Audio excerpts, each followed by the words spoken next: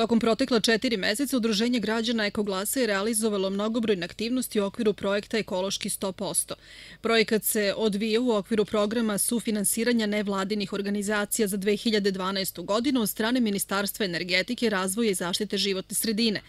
Projekat Ekološki 100% je edukativnog karaktera i imao je za cilj da se podigne svest građana o očuvanju i značaju životne sredine. Projekat je samo u stvari nastavak naših aktivnosti koje smo sprovodili ranije i ranijih godina i ovog puta smo izabrali aktivnosti ekološke edukacije jer smatramo da, da je to veoma važna stvar za naše društvo. Osnovni cilj je e, bio da se utiče na podizanje ekološke svesti, ali prevashodno i da se menju neke loše navike koje su građani stekli e, zadnjih godina.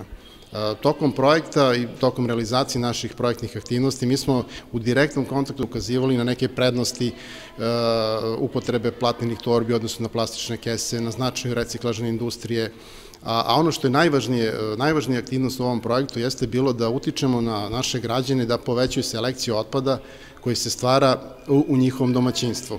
Učenicima 17. oktobra je na praktičan i vizuelan način prikazan otpad koji ima upotrebnu vrednost i koji treba posebno odvajati. Pokušavamo da našim mališanima, najmlađim građanima osnovne škole 17. oktobar ukažemo na jedan praktičan i konkretan način šta je zapravo važnost reciklaže, zašto je važno odvajati i selektovati otpad, znači reciklažnog tipa od onog organskog, zašto su postavljeni ti zeleni kontejneri i korpe, a zašto ovi limeni.